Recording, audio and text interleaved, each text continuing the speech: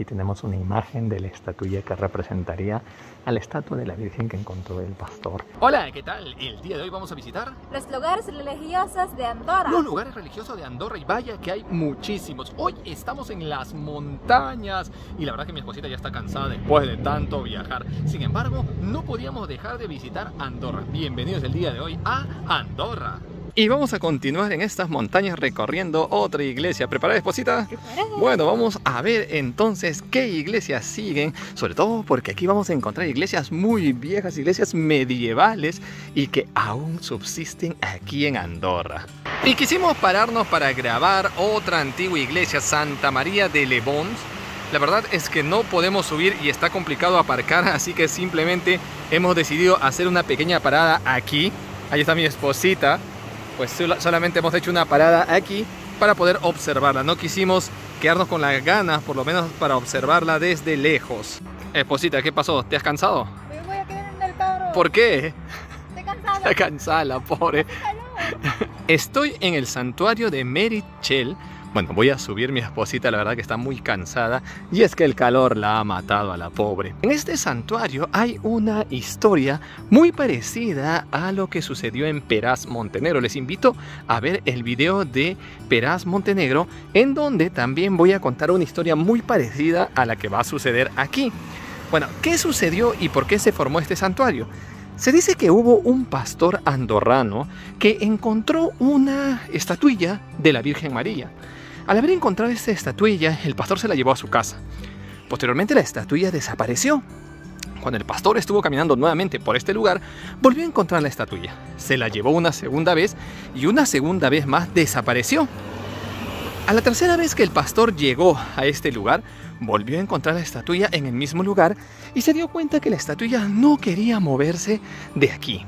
Entonces el pastor contó esta historia a los habitantes de este lugar y decidieron, pues, bueno, pensaron que era una especie de aparición mariana o un milagro mariano. Por lo tanto decidieron construir un santuario dedicado a la Virgen. Y como estamos en un lugar que se llama Merichel, este va a ser el santuario de Merichel. Afortunadamente frente al santuario hay un aparcamiento. Ahí está mi esposita cansada, la pobre. Me ha dicho que ya no puede más, así que yo no lo he obligado. Le he dicho que, que descanse mientras yo visito un poquito el santuario de Merichel. Ahí tenemos conjunto histórico. Bueno, la entrada es gratis, así que esperemos que no haya ningún tipo de sorpresa por lo que hemos leído. Pero bueno, vamos a ver dónde está la entrada. Al parecer no es aquí, de aquí hay que subir estas escaleras a esta parte, a ver, pues sí. Cuidado con caerse, cuidado con caerse. No sé por qué me pasa estas cosas siempre. Y después de una caída fallida, porque no me caí, pues sigo subiendo para venir a Andorra.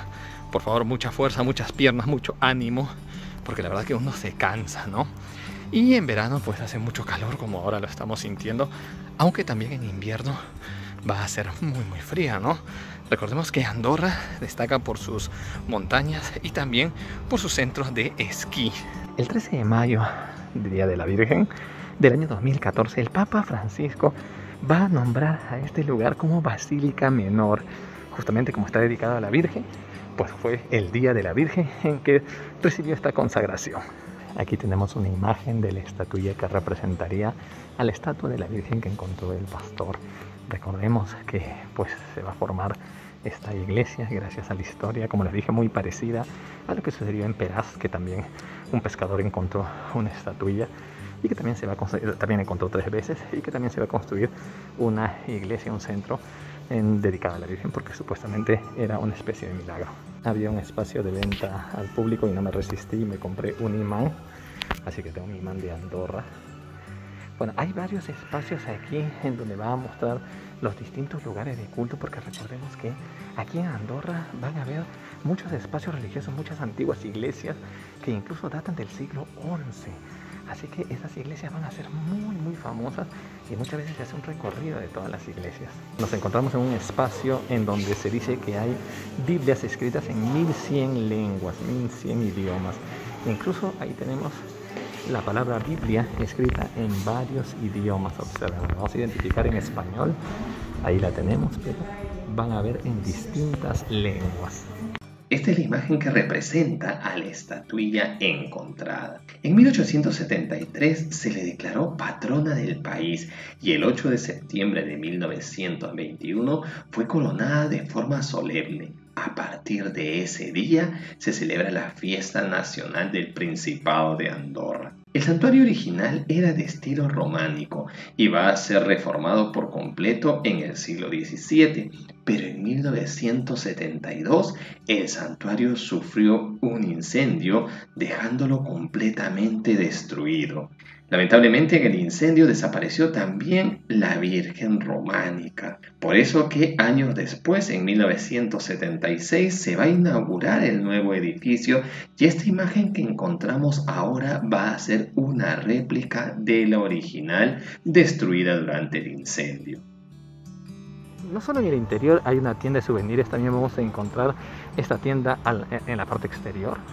Pues la verdad que a mí me ha gustado mucho el santuario, me, me he sentido pues cómodo. Y es que es un buen espacio religioso. Aquí en Andorra pues eh, hay muchos espacios religiosos como este. Y yo me he sentido contento de llegar hasta aquí. Veo también que hay mucha gente que llega, muchos creyentes y bueno, también muchos turistas que van a llegar a visitar pues estos espacios religiosos y a la vez históricos de Andorra. En estos momentos voy a ver dónde está mi esposita, que la pobre está muy cansada ella ya quiere regresarse, las vacaciones pues le han afectado a la pobre, ¿no? Pero bueno, esa es la aventura de seguir paseando siempre y si uno quiere ser un gran viajero ya lo sabe, va a tener que encontrarse con el clima, a veces con el calor, frío, hambre y con todo lo que uno puede encontrar. Y esa ha sido nuestra visita. ¿A dónde? A los lugares religiosos de Andorra. A los lugares religiosos de Andorra. Y vaya que hay muchísimos, aunque tú te cansaste, mi esposita, ¿no? Sí, ya estamos muy cansados, pero igual Andorra tiene tantas maravillas que ver. Y ya saben, si les ha gustado el video, denle un like, suscríbanse dándole un tic a la campanita y nos veremos pronto en, otro, lugar del mundo. Adiós.